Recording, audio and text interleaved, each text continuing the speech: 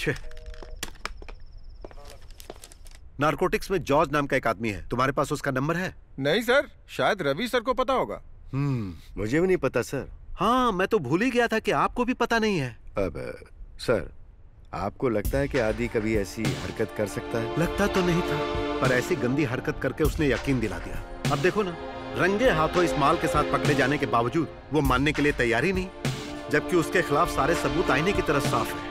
इसीलिए आप कृपया करके उसकी वकालत करना बंद कीजिए।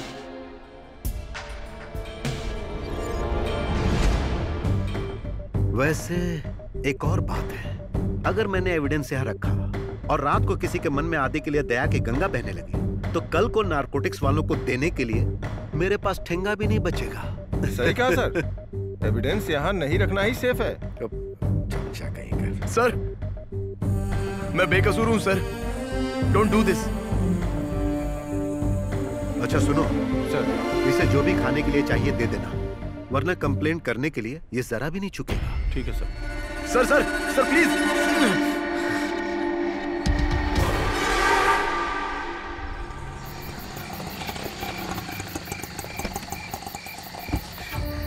sir ये किसी की साजिश है। मेरा बेटा ऐसा काम नहीं कर सकता। प्लीज़ उसे छोड़ दीजिए। अब तुम्हें तो पता ही है लक्ष्मी नारकोटिक्स के केस में दखल देने की पावर हमें नहीं है। लेकिन सर अगर उस पर केस हो गया तो उसका फ्यूचर बर्बाद हो जाएगा। ऐसा ही सिलेक्शन के शॉर्टलिस्ट में उसका नाम आया है। सच कहूँ तो उसमें तुम्हारे गुण नहीं है। उसमें सारे गुण अपने बाप के हैं। तुम लाख कोशिश कर लो लेकिन वो पुलिस वाला नहीं बनेगा।